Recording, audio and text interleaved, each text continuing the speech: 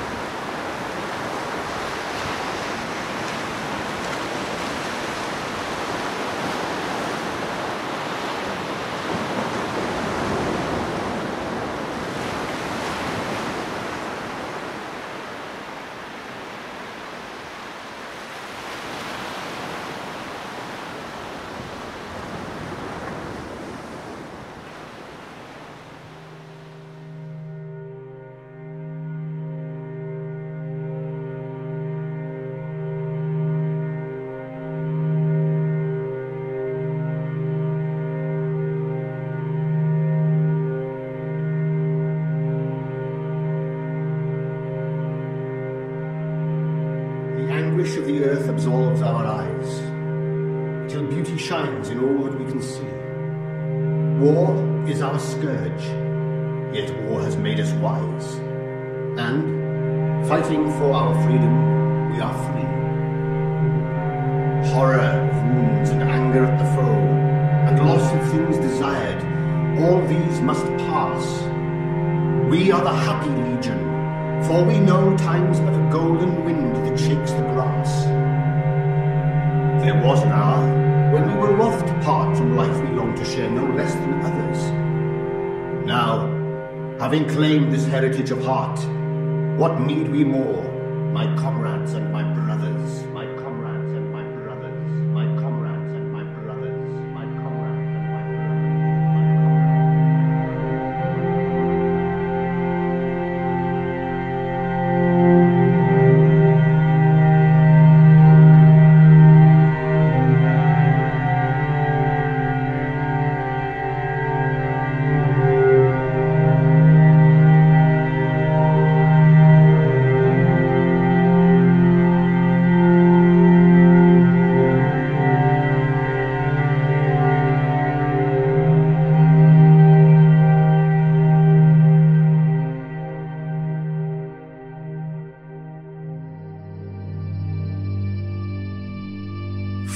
days the earth was rent and torn by bursting steel.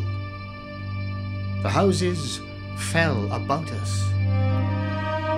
Three nights we dared not sleep, sweating and listening for the imminent crash which meant our death.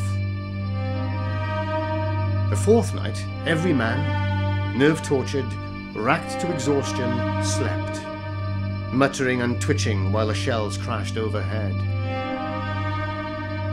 The fifth day, there came a hush.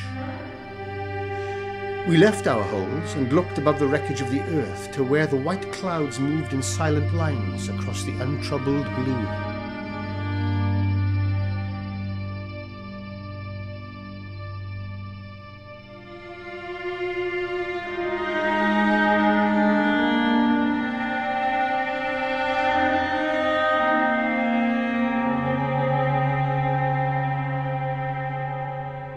These hearts were woven of human joys and cares, washed marvellously with sorrow, swift to mirth. The years had given them kindness. Dawn was theirs, and sunset, and the colours of the earth. These had seen movement and heard music, known slumber and waking, loved, gone proudly friended felt the quick stir of wonder, sat alone, touched flowers and furs and cheeks. All this is ended.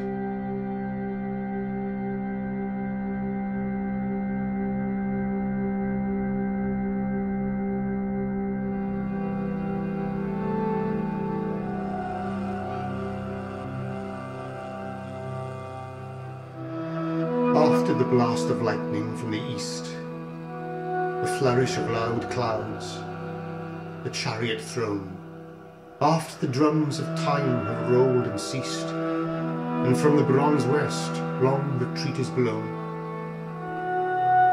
shall life renew these bodies?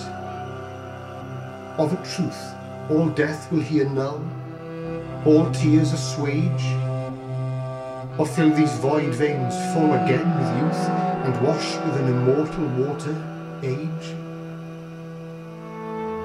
When I do ask white age, he saith not so. My head hangs weighed with snow.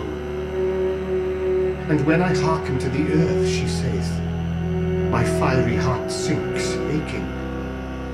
It is death. Mine ancient scar shall not be glorified, nor my titanic tears the seas be dry, be dry, be dry.